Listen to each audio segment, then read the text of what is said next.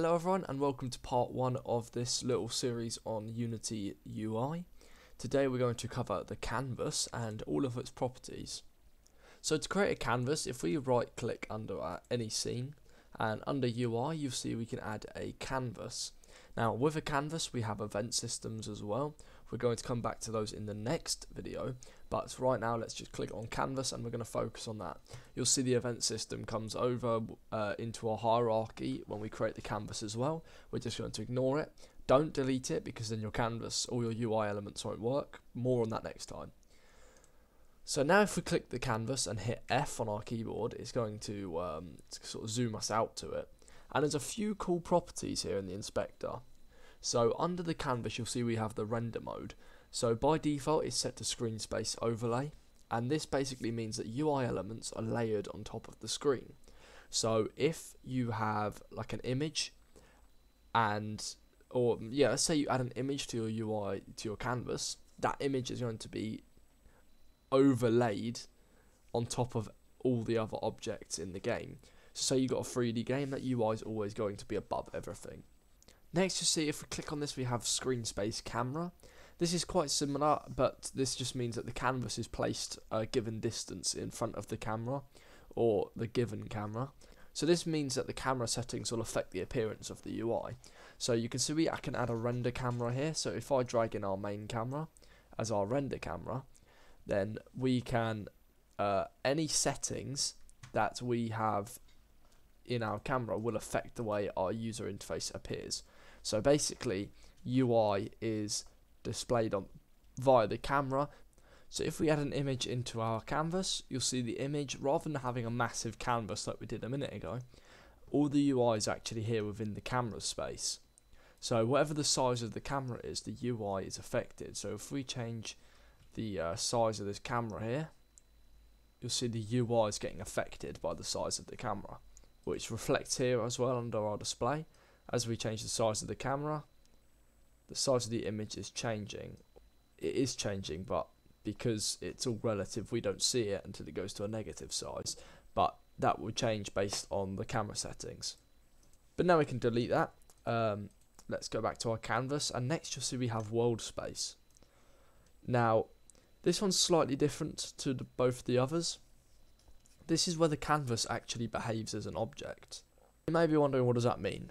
Now, in simple terms, it means the UI is going to render behind or in front of other objects that are based on 3D placement.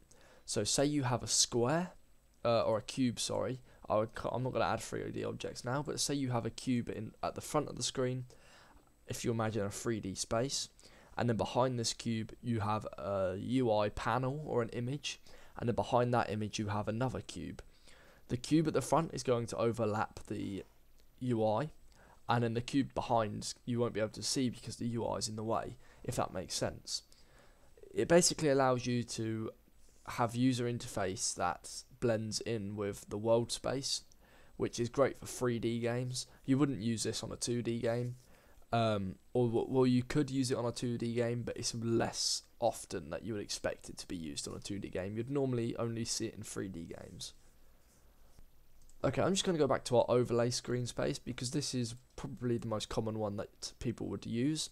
Let's talk about pixel perfect. That literally is it's an on or off, it's true or false, and it just forces elements in the canvas to be aligned with pixels, which basically it makes elements appear sharper, it prevents blurriness.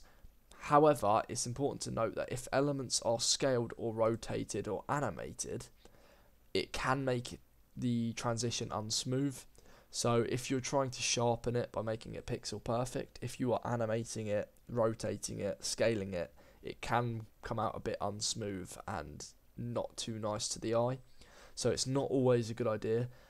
This is probably best to put on static elements which aren't going to move. If you have move um, elements which are quite animated, then you might not want to have pixel perfect enabled.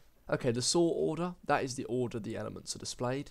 So elements of a higher order are going to be displayed over elements of a lower order, basically.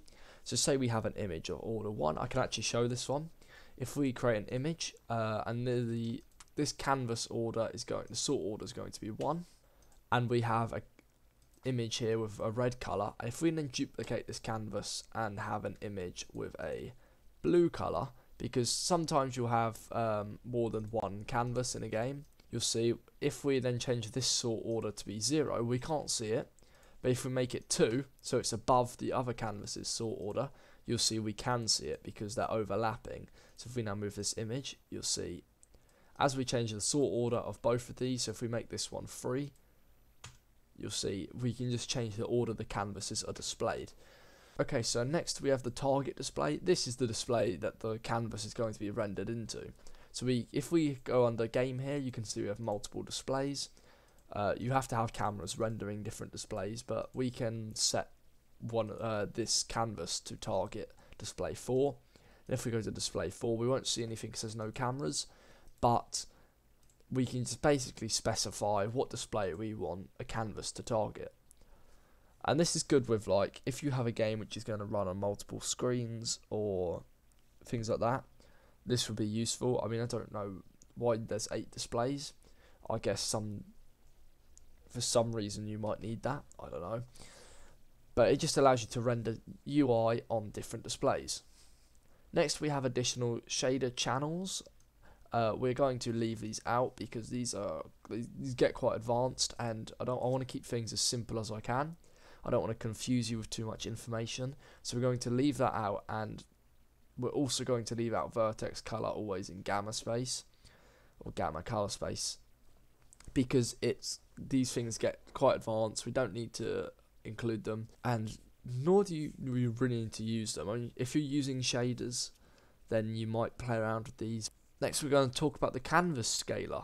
So we have UI scale mode. Now constant pixel size, this means elements are always displayed at their given size. Say we have an image of 100 by 100, it's going to be displayed at that pixel size. The scale factor is the multiplier of how much larger the elements are displayed compared to their given size. So if it's 100 by 100 and the scale factor is 2, it's going to be displayed at 200 by 200.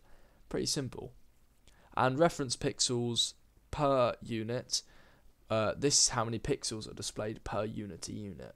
Now, once again, I'm not going to get too involved with this, um, but a Unity unit is basically uh, it's like a set amount of distance. So, like one Unity unit, you think, you know, from one square to another, it's it's basically a distance that Unity make. It can be anything.